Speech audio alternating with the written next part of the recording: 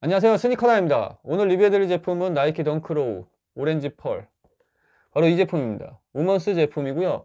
오렌지 펄이라고 했는데 실제 상품을 보면은 이 sole 부분에만 sole 부분에만 오렌지 느낌이 있고요.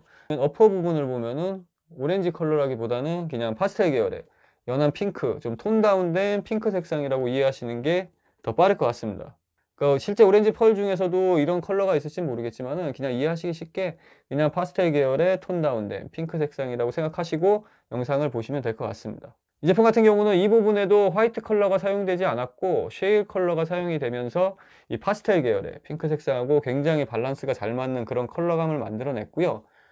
특히 지금 이 재단한 부분을 보면은 덩크 코스트나 덩크 범고래하고는 다르게 뭐 제가 이따 어떻게 다른지는 말씀을 드릴 건데 이 제품 같은 경우는 이 신발에서 뚜렷한 경계선을 만들어냈습니다. 이 모든 부분에서.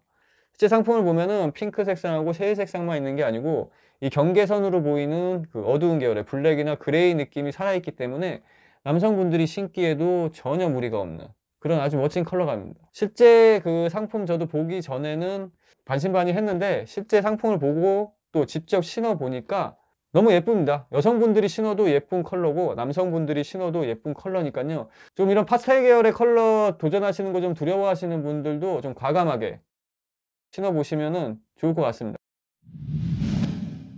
지금 덩크 코스트하고 이 제품하고 좀 차이점을 좀 보자면은 지금 여기를 보시면은 이 제품 같은 경우는 가죽의 컬러를 가지고 있습니다. 단면을 보시면 잘린 단면을 보시면은 지금 이 핑크 컬러가 아닌데 덩크 범고래나 덩크 코스트 같은 경우에 이 잘린 단면이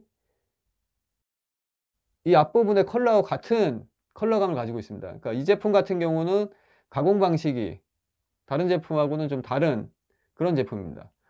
이 두께감을 봐도 덩크 코스트에 비해서 좀 두꺼운 느낌이고요. 그렇다 보니까 전체적으로 눌러보면은 이 제품이 좀 hard한 느낌입니다. 코스트에 비해서. 지금 이 부분을 보시면은 혀 부분의 라벨도 핑크톤에 이 안에 수옷이나 나이키 로고도 역시 연한 핑크 느낌입니다. 그리고 이 뒷부분 자수 로고도 화이트 컬러가 아니고요. 그리고 지금 이 측면을 보시면은 주름이 잡혀 있는 걸 볼 수 있는데 음, 좀 예쁘지가 않습니다. 주름 자체가 예쁘게 안 잡혀 있고 신었을 때 주름이 예쁘게 잡히면 좋은데 그렇지 않을 확률도 있는 신발입니다. 신었을 때 주름이 좀 안 예쁘게 질 수도 있다는 점도 좀 참고하셔야 될 것 같습니다.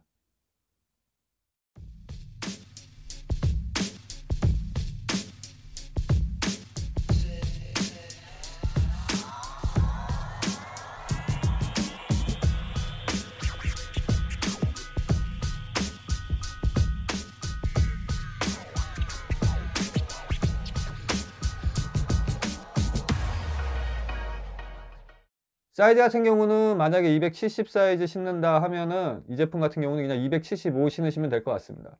내가 발볼이 좀 넓다, 발볼이 좀 있다고 생각하시는 분들은 1 up 정도, 최소한 1 up 정도 하셔야 될 것 같고요. 어, 제품에 관한 디테일한 영상은 따로 올려놓을 거니까요. 개인 거래 하시기 전에 한번 보시고 개인 거래 하시면 될 겁니다. 2021년에도 다양한 제품 소개하는 채널 만들어 보도록 하겠습니다. 감사합니다.